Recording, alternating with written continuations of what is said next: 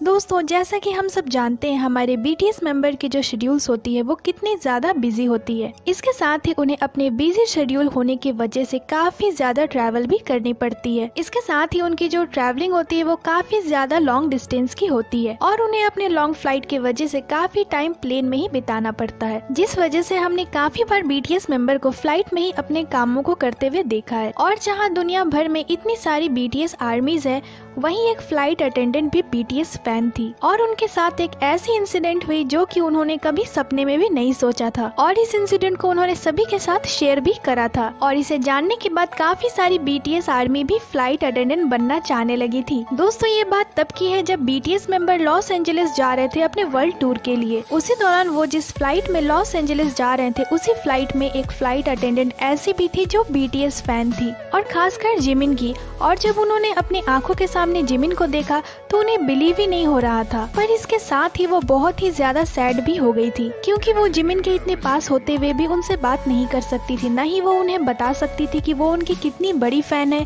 या फिर नहीं वो उनसे ऑटोग्राफ मांग सकती थी। क्योंकि दोस्तों फ़्लाइट अटेंडेंट को ये अलाउ नहीं होता कि वो अपने कस्टमर से कुछ भी पर्सनल बातें कर सके, या फिर उनसे कुछ भी मांग सके, या फिर उनसे पर्सनल कुछ भी पूछ सके।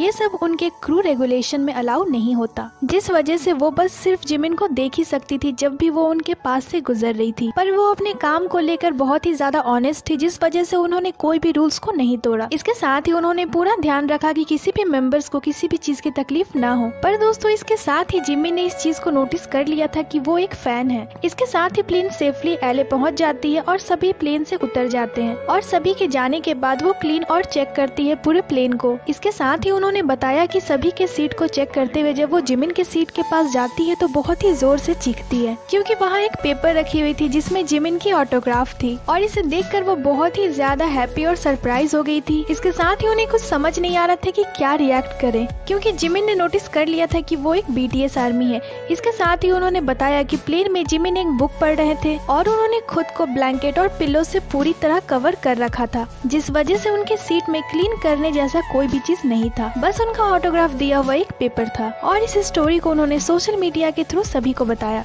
कि जिमिन अपने आसपास की चीज़ों को बड़े ही ध्यान से नोटिस किया करते हैं। और वो एक बहुत ही प्यारे पर्सन है जिनका ध्यान हमेशा ही अपने फैंस पर होता है। तो दोस्तों, आपको ये इंसिडेंट जानकर कैसी लगी हमें कमेंट कर ज़रूर ही बताइएगा। तो ये थी आज की वीडियो वीडियो को लाइक करें चैनल को सब्सक्राइब करें और जल्दी से हमारे के पॉप खबर फैमिली का हिस्सा बन जाएँ। इसके साथ ही आप हमें इंस्टाग्राम पे भी फॉलो कर ले, जिसकी लिंक डिस्क्रिप्शन में दी हुई है। अपना बहुत सारा ख्याल रखें। मिलती हूँ आपसे अगले वीडियो पे।